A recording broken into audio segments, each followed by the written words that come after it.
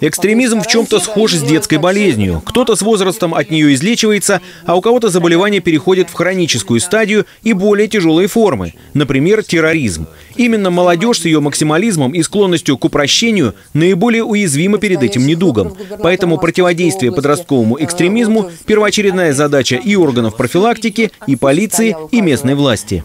В образовательных учреждениях проводятся э, по инициативе комиссии традиционно дни профилактики, на которых мы говорим, что такое экстремизм, чем он опасен, э, к чему ведет экстремизм.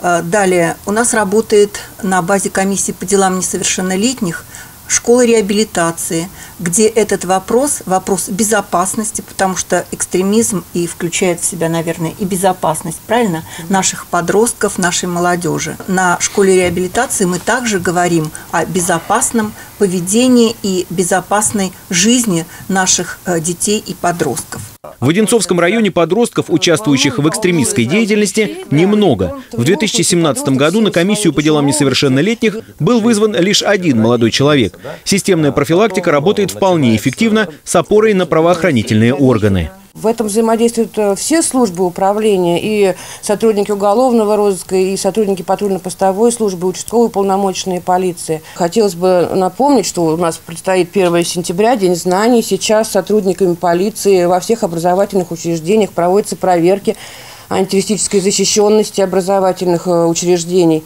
Э, у нас смотрится всегда это наличие системы контроля управления доступом в школу, проводятся э, инструктажи с сотрудниками частных охранных предприятий. За 7 месяцев 2018 года в районе выявлено 6 подростков, причисляющих себя к неформальным молодежным объединениям. Четверо из них футбольные фанаты, двое – зацеперы. К уголовной ответственности за несколько последних лет по статье «Экстремизм» несовершеннолетние в районе вообще не привлекались. Подростки – это же такая категория людей, где, э, начиная от родителей, от семьи, э, образования, школа, в том числе и сотрудники полиции. Здесь только совместными усилиями можно не допустить, либо предотвратить э, какое-либо правонарушение. Конечно, главная роль в воспитании всегда была и будет у семьи.